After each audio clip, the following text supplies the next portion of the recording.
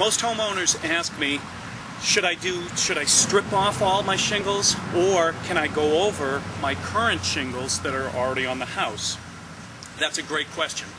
Number one thing we want to look for is is it a three tab shingle, meaning the, the kind that lay flat? If it is if it's in fairly good condition and laying flat, yes, we could go over it with a nice architectural shingle.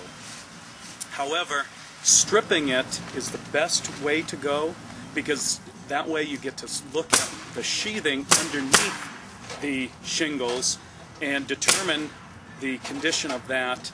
So it depends on the age of your house. And the best way to determine it is how many layers are currently on your house now. The here in New Hampshire, you, the building code is only two layers of shingles. So if you currently have two layers of shingles, those have to come off. If there's one layer, we can determine that. And if you like that tip, we have plenty more of those tips on video. And if you want to get your free report called The Nine Things You Must Know Before Getting Your Roof Done in New Hampshire, go to our website at www.seacoastroofing.com. We look forward to earning your business.